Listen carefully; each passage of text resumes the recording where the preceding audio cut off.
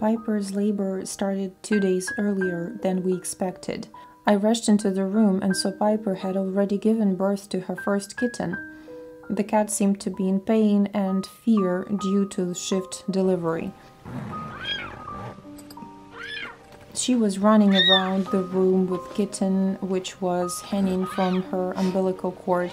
I didn't capture this on camera as it all happened unexpectedly. Uh, here are the first shots of Lelouch. Uh, he was the largest of, in the litter, weighing 111 grams. The kitten grew up absolutely healthy, playful, and uh, he ate well and gained weight. The only difference from other kittens, uh, he seemed timid, um, hid at the sight of a vacuum cleaner, scared of ducklings, uh, frightened by a puppy. We temporarily fostered and um, vary of noisy toys. When kittens were two and a half months old, I started preparing them for vaccinations. Following the vet's advice, I gave them a deworming medication. Um, all the kittens tolerated uh, the medicine well, except for Lelouch.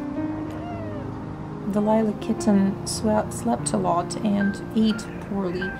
Mm, the vet said this could happen in the first two days, uh, but on the third day, a kitten's belly swelled my first thought was gas accumulation. I sent photos to the vet. Um, the vet said the belly was normal for a kitten. The next day, the belly grew significantly larger. I rushed to the clinic with the kitten. Lelouch had an ultrasound, and the doctor found a large accumulation of fluid. Uh, preliminary diagnosis feline infectious peritonitis. According to the vet, the diagnosis was a critical juncture. Um, it's better to let the kitten pass peacefully, otherwise, his organs would deteriorate and he would suffer terribly, um, and his belly would grow until it burst. Um, the vet said some stress triggered the disease, probably deworming medication. To confirm the diagnosis, a fluid sample from kitten's belly was needed. So we did. Um, I returned home in tears with the kitten. Is there really no treatment? I searched the internet for answers. It turns out feline infectious peritonitis is treated with an experimental drug.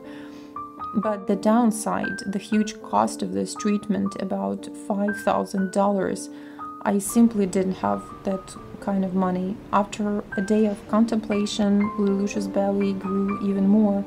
The diagnosis was confirmed. Mm, images of other unfortunate cats were frightening. Mm, there's a recent video of kitten Fufu who fell ill just like Lelouch. Um, he was a homeless kitten abandoned on the street because of the disease. Passers-by initially thought he was a pregnant cat, but it turned out to be a two month old kitten. Eventually, a store clerk took him in and decided to treat him. Despite such a huge belly, despite the high cost of treatment, the kitten was saved, and I decided to fight. I borrowed money and I bought the first vial. Lelouch's back had to be uh, shaved for injections. Uh, there were 84 days of treatment ahead.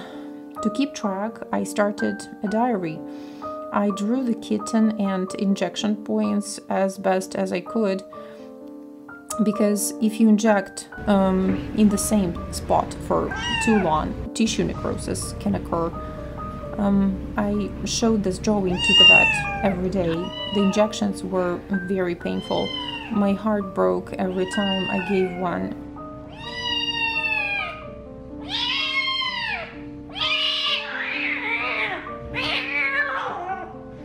sorry for Lelouch, but the injections were necessary every day at the same time, increasing the dose according to weight.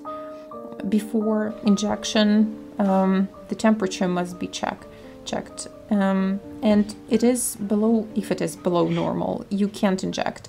The animal needs to be warmed. Otherwise, the injection can make the kitten very ill.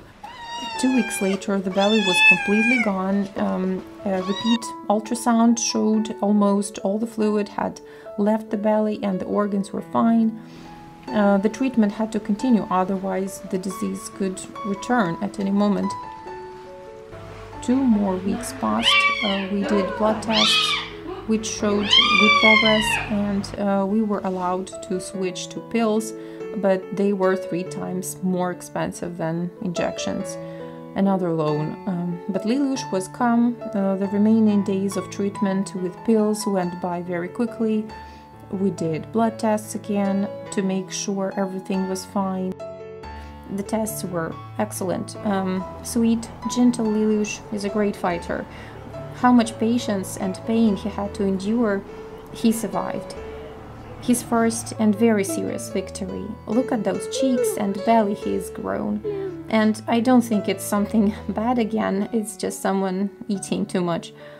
At the end of the treatment, we had expensive medicines left over mm, and we passed them to someone in need. May our successful treatment be an inspiration for another kitten. Stay healthy, little one.